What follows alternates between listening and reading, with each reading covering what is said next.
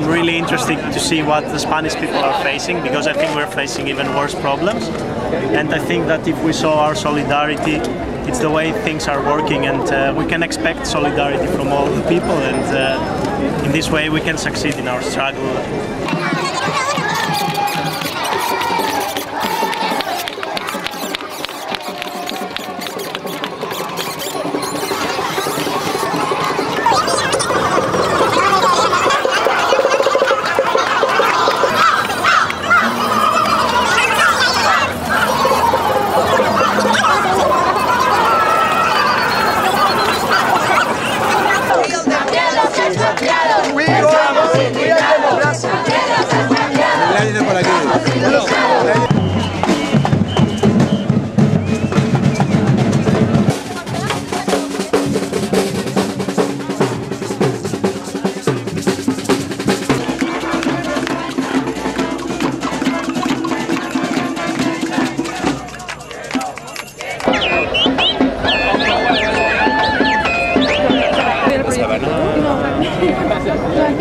I